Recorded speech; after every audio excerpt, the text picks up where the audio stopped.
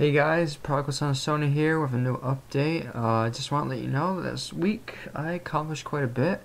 Um, first off, I finished the Castlevania Let's Play, and I clocked in a little over a half hour, so that went pretty well. Uh, this weekend, I plan on doing something else. Uh, this is going to be by myself. Uh, nothing big like, say, Xenoblade, but something short and sweet, something I like and something I hope you like. Uh, today, I went to my favorite comic book shop and got a good haul of old uh, 90s stuff. I would show it to you, but it is up on my armoire. It's not really an armoire. Uh, I also worked on a uh, Magic the Gathering deck I have. It's a uh, EDH deck. It's a uh, Grimgrin Commander Tribal.